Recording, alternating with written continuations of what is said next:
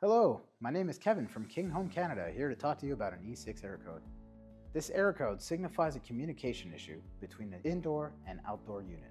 An E6 error code could be caused by a voltage issue in the area, so a good thing to try is to reset the breaker for about 5 minutes. When you turn the unit back on, the error code may not display immediately.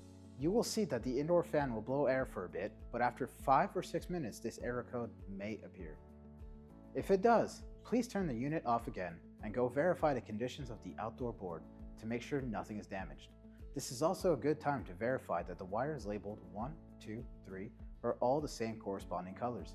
Verify that none of the strands of the wires are touching another connection screw as well.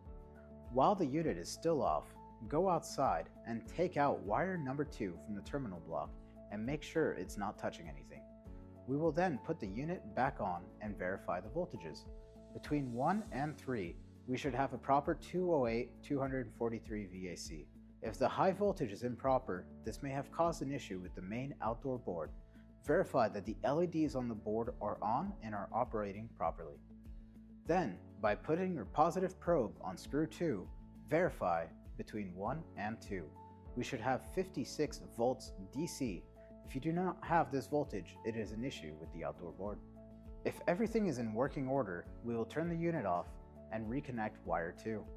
Head inside and we will unplug wire 2. Once again, making sure it doesn't touch anything, we will turn the unit on and put your positive probe on the free wire and then terminal 1. You should read between 56 and 100 volts DC.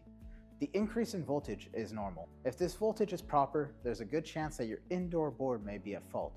If it's not there, there's a good chance that the communication wire is damaged or defective. You may also wish to use our checker unit, in which case we will turn the power off and plug the tester into 1, 2, 3, into our outdoor unit and turn the power back on. We can simulate an indoor head. If the error occurs at this time, it is an outdoor board issue. We can also do the same inside to simulate the outdoor unit. If the issue appears this time, the indoor board is defective. Although if it doesn't appear both times, the communication wire is the problem. Hopefully this made your call easier to diagnose. Make sure to visit kinghomecanada.com for any other questions or error codes.